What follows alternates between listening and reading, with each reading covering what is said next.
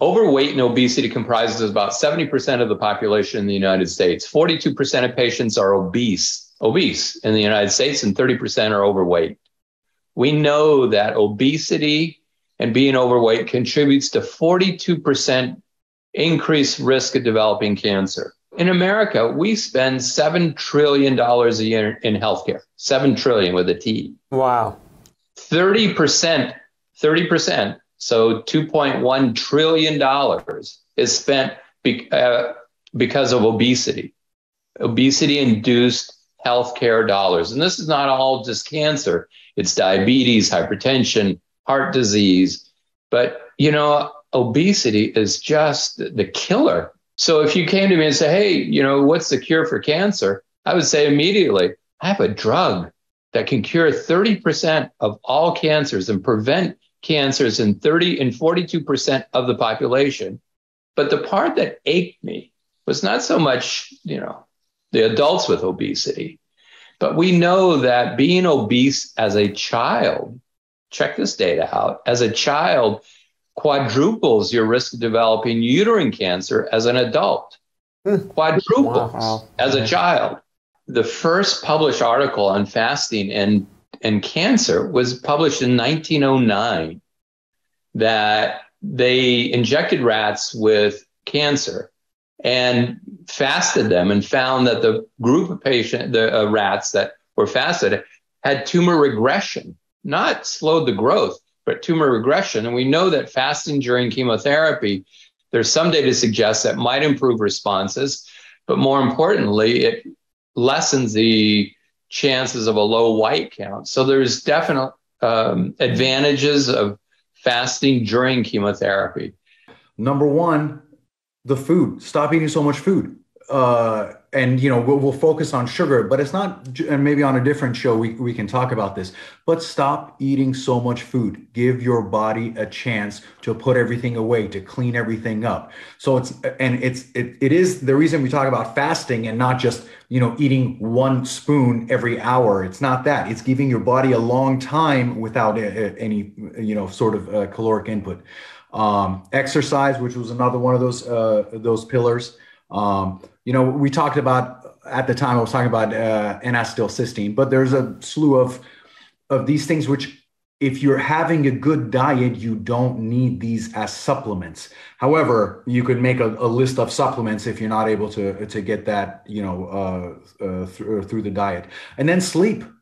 I think those are. I will say those will be the same ones that'll help. I think we'll find that those same things are the things that are going to help uh, prevent cancer. You know, getting back to the weight loss thing, I think, you know, I could cure 30% of all breast, I could cure 30% of all cancers in the United States. Takes one thing shut your mouth. Mm. That's all it takes. Dr. Perkins, can I interject just one second? I want to bring this full circle to the beginning when you asked, well, what is cancer? Uh, this last thing you said, I think, completes that circle.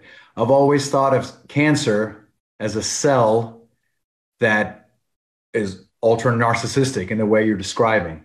It's a cell that doesn't realize that it's inside a body. It thinks it's just himself and whatever he can do. I'm just going to get more for myself and more for myself. And it overtakes, you know, it takes the food from the other cells and it grows into their space and it spreads out everywhere. So it's a cell that thinks the most important thing to do is just to, you know, get me, me, me. Exactly. Me, me, me. Doesn't realize that it only it's only me when it lives inside a harmonious body. And in being me, me, me, me, it ends up destroying the host and therefore it, itself.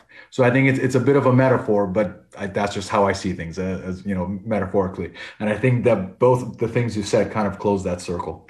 And then some of these vegetables, you know, especially the cruciferous vegetables, they're super cheap. I mean, cauliflower has really come up these days, but cauliflower, broccoli, Brussels sprouts, you know, uh, not super duper popular and, you know, high end asparagus, you know, these things uh, where you can, you know, the, all this instead of, you can cut a lot of other costs by eating these things well. I mean, you're, it, when you look at just the grocery bill, your grocery bill might be higher but you have more energy during the day. You you're not as sick. You're not taking as many medicines. You're not taking as many uh, supplements. You know, so the the benefit is beyond just the simple grocery bill. But again, the thing that I'm t- saying is just don't eat so much. I'm not saying get the most organic, uh, you know, thoroughbred, only grass-fed, grass-finished beef in the world. I'm just saying don't eat so much. How about plant-based diets? Uh, and, and not eating red meat. Any comments from you guys, from both of you, on plant-based diet? Well, I think there's two aspects there with plant-based. Number one, your caloric intake is going to more than likely, depending on how you cook it, will be less. So in that in itself, you're going to, you know, be somewhat of the caloric restriction fasting. Secondly, um, you know, when we counsel breast cancer patients on low fat diets, you know, meat has high fat. And so, you know, there has been plenty of data looking at uh, colon cancer causation. For example, you know, colon cancer is a much higher incidence here in the United States than it does in Africa. Well, Africa, they don't eat very much meat. And so again, you know, there's data out there. None of it is like, oh my God, this is just fantastic uh, data. But there's enough there to say, again, balance is everything. A little meat, a little fish, a little chicken, a little vegetables, not a lot of McDonald's and Taco Bell. So it's just, again, control, self control of what you put in your mouth.